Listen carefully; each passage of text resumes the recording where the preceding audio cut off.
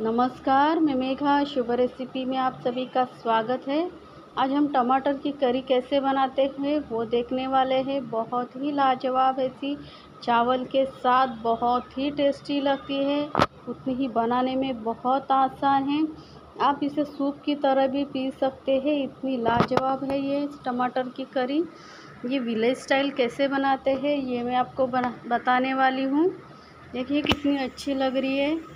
ना इसमें हम लोगों ने कलर का यूज़ किया है, ना ही कुछ। तो चलो, बनाने के लिए शुरू करते हैं ये टमाटर की करी।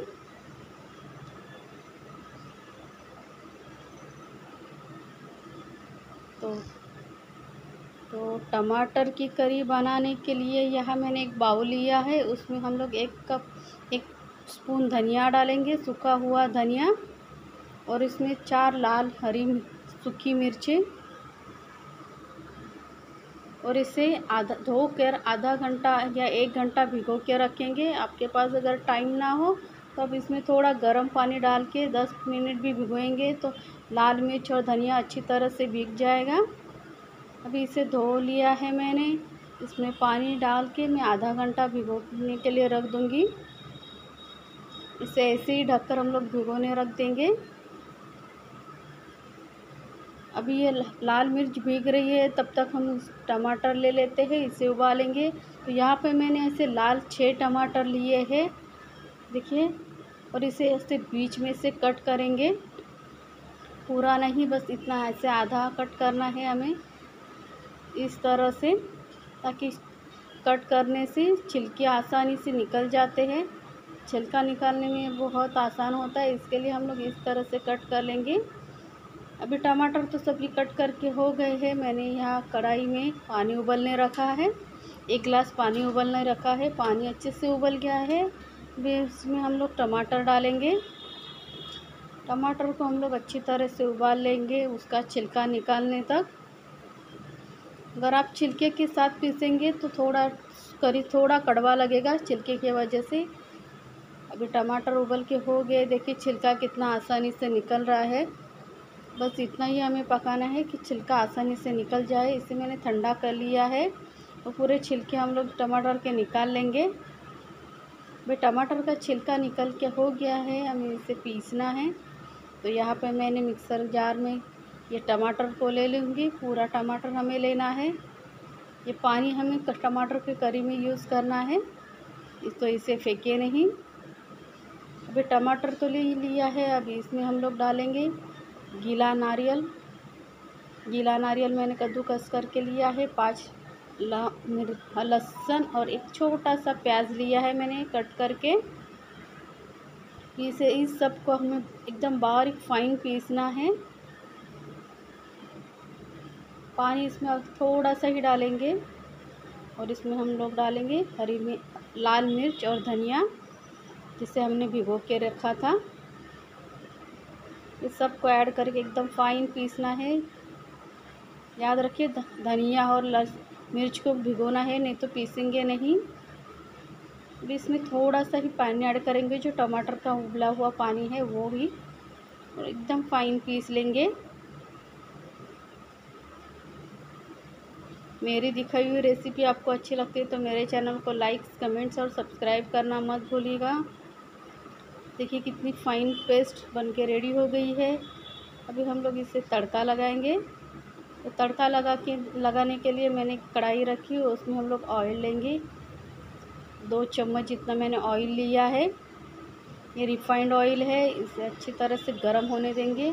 और तीन मैंने छिलके के साथ लहसुन लिए है। इसे थोड़ा सा क्रश करके हम लोग डालेंगे तो उसका लहसुन का फ्लेवर बहुत ही बढ़िया आता है करी में। अभी इसमें हाफ़ टी एस पी हम लोग लोग राई डालेंगे। राई अच्छे से तड़कने के बाद ही हम लोग जीरा डालेंगे इसमें। अभी राई भी हम लोग की अच्छे से तड़क गई है। इसमें हाफ़ टी एस पी जीरा। राई जीरे को अच्छी तरह से भून लेंगे। गैस का फ्लेम एकदम ही लो, मीडियम पे रखना है आपको, नहीं तो मसाले जल जाएँगे। अभी इसमें हम लोग करी पत्ता डालेंगे, आठ से दस करी पत्ता डालेंगे। करी पत्ते को भी अच्छे से भून लेंगे। करी पत्ता भी अभी भून गया है, तब अभी हम लोग इसमें हाफ़ टी एस पी डालेंगे, लाल मिर्ची पाउडर या काश्मीरी मिर्ची पाउडर डालिए, इससे कलर भी बहुत बढ़िया आता है और टेस्ट भी। ध्यान रखिए, अगर आपको ज़्यादा तीखा पसंद है तो आप ज़्यादा लाल मिर्च पाउडर डाल सकते हैं, लेकिन हम लोगों ने पेस्ट में तीन चार हरी, लाल मिर्च डाली है। इसके लिए यहाँ पे मैंने आधा चम्मच ही डाला है मिर्ची पाउडर। भी सब पेस्ट डाल के अच्छी तरह से भुनेंगे। देखिए कितना अच्छा कलर अभी से आया है। बस अच्छी तरह से लो मीडियम एकदम फ्लेम पे हमें इसे भुनना है। इसमें हाफ़ टी एस हम लोग हल्दी पाउडर डालेंगे। अच्छे से मिक्स कर लेंगे। मसाला हमें अच्छी तरह से भूनना है ऑयल में, ताकि लहसुन और प्याज वगैरह का सब कच्चापन निकल जाए।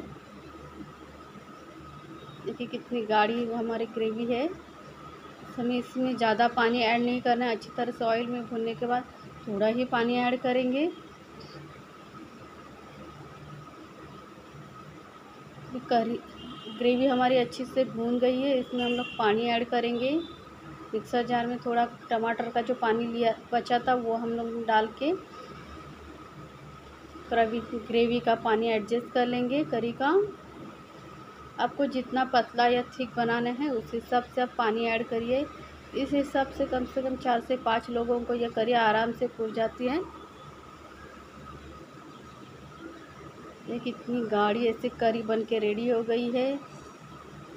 बहुत टेस्टी लगती है। चावल के साथ खाने में तो बहुत ही लाजवाब। अभी इसमें हम लोग टेस्ट के अनुसार नमक डालेंगे।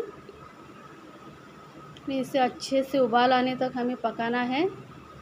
पाँच मिनट तक अच्छे से उबालना है ताकि पूरा ग्रेवी हम लोग का अच्छे से रेडी हो जाए। टमाटर आप कच्चा डालेंगे तो उसका थोड़ा कड़वा फ्लेवर आता है। इसके लिए अच्छे से उबालने की छिल उबाल कर छिलका निकाल के ही हमें करी बनानी है। उससे फ्लेवर बहुत ही बढ़िया आता है। ऐसे ही आसान आसान रेसिपी मैं आपके लिए लेके आऊँगी। मेरे चैनल को कमेंट कीजिए और सब्सक्राइब करना मत भूलिएगा और आप फ्रेंड सर्कल में भी शेयर कर सकते हैं। ऊपर से थोड़ा सा धनिया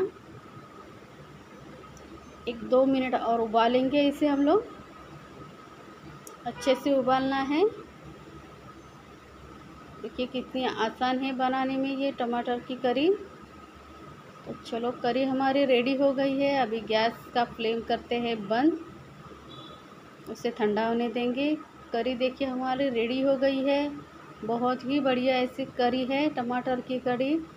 आप भी ज़रूर बनाइए और मुझे बताइए कमेंट्स में आपको ये करी कैसी लगी। धन्यवाद।